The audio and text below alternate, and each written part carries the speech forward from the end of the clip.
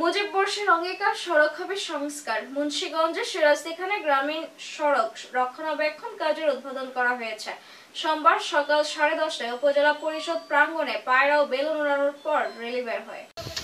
ভাই। রক্ষণাবেক্ষণ কাজের উদ্বোধন করেন উপজেলা চেয়ারম্যান মহিউদ্দিন আহমেদ। হ্যাঁ আসছে আসছে স্যার। জি জি জি জি ওকে। এ সময় উপস্থিত ছিলেন উপজেলা নির্বাহী কর্মকর্তা সৈয়দ ফয়জুল ইসলাম, উপজেলা ভাইস চেয়ারম্যান মইনুল হাসান নাহিদ, উপজেলা প্রকৌশলী শোয়েব বিন আজাদ সিরাজতে খান প্রেস ক্লাব সভাপতি ইমতিয়াজ বাবুল, যুব উন্নয়ন কর্মকর্তা ডলিরানী নাগ, মহিলা বিষয়ক কর্মকর্তা কান্তা পাল সহ আরও অনেকে।